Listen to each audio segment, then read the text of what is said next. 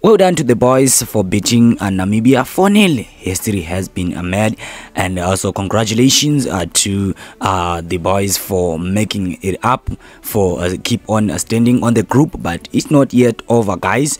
As you can see on the screen uh, the group stands right now. As you can see the table Mali still have uh, four points. And South Africa on number two with the also three points. In Namibia following three points. Namibia and South Africa they're still on the same stage. But actually the different it's only uh, goals which is two goals. South africa and then namibia minus three and then tunisia they still have a chance guys because they have they have one point uh, and they are going to play against South Africa. So South Africa they don't have to allow Namibia, um, uh, Tunisia to win this match, and also Namibia should have not uh, should uh, they don't have to beat and uh, Mali. So they just pray, just praying for Namibia for, for Namibia not to beat Mali, so that they will have still have a chance. So I think supposed to be draws every match, which is following, so that everything will be uh, driving on the good way.